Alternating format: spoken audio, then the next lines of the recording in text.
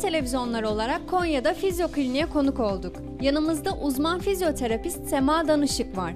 Sema Hanım sizi kısaca tanıyabilir miyiz? 2002 9 Eylül Üniversitesi Fizik Tedavi Bölümü mezunuyum. 2005'te yüksek lisansımı bitirdikten sonra Almanya'da Osteopati Enstitüsü'nden mezun oldum. Osteopatım.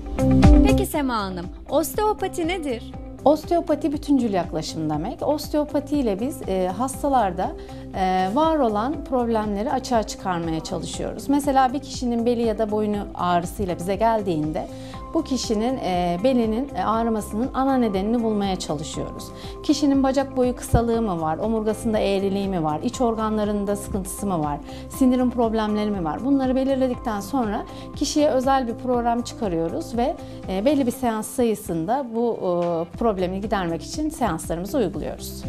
Peki Sema Hanım, hangi hastalara osteopati uygulanabilir? En çok gelen hastalar bel ve boyun fıtığı hastaları, migren hastamız çok geliyor. Kulak burun boğazla ilgili sıkıntılar, e, alerjik rinit, sinüzit gibi, e, kulakla ilgili uğultu, çınlama gibi problemleri olan hastalar, e, kadın doğumla ilgili problemler, dahiliye hastaları gelebiliyor, sindirim problemleri olanlar, kabızlık, hazımsızlık, gaz şikayetleri gibi idrar yolu enfeksiyonu olan hastaları da tedavi uygulayabiliyoruz.